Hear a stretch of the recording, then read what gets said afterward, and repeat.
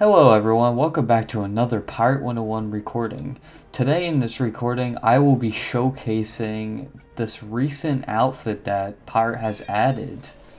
Anyways, let's just go to my house and stuff and just like show it off. So pretty much, the outfit that I'll be showcasing is the Scarecrow gear set.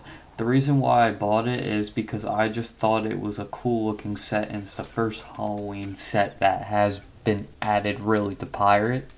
Other than the other times where they had that like that orange unicorn hat it was like the fifth or sixth anniversary of Pirate. Anyways, let's just equip it and stuff. Let's get that out. And let's get the mount off. I forgot to get the mount off. So this is what it looks like, pretty much.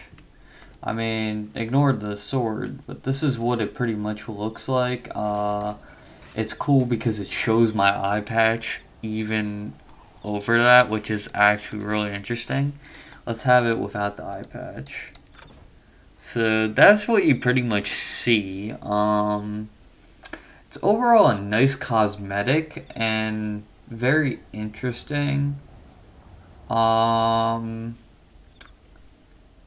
what else is there? So, not really much. I mean, it's pretty much a nice little um gift, I would say, if you want to like buy yourself something like a nice stitch.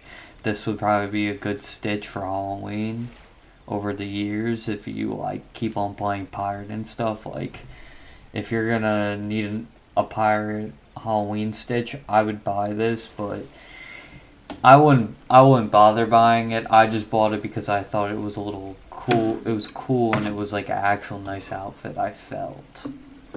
Anyways, this was um, a very short video. Um, I'll be continuing to record videos in the future. I will be doing other showcases on maybe the companions I recently got and all of that in the last couple videos.